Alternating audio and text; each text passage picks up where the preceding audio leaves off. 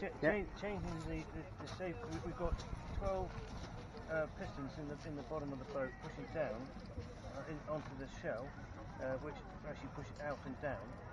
And uh, what, we have is some levers at the front, and it's all connected with with. Um, if, if we look in there, there's lots of um, dyneema attached to Very dark space. very dark space, yeah, but that's that's Need where that's where all, all, Yeah. all happens.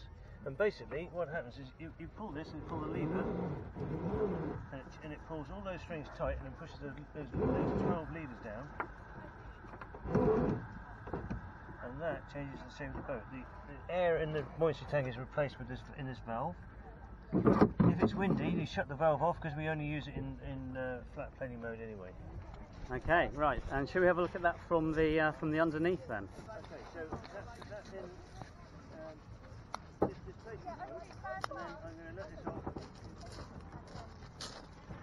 That's the sensible housing, and then you've got maximum rocker. Pull it back on.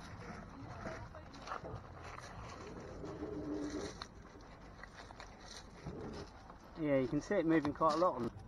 And that's down now, is it?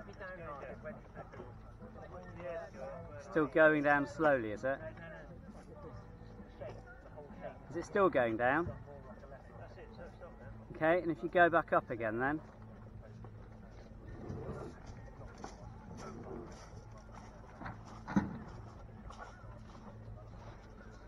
It's quite subtle actually, isn't it? Yeah. So talk us through how it's uh, connected together then.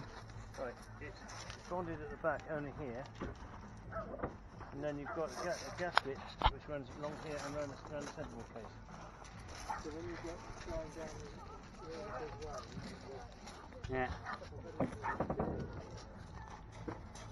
Right, and you can see how much the boat moves between the gunnel and the deck when you, uh, uh, yeah, as you adjust it. It kind of all goes back in, doesn't it? Yeah.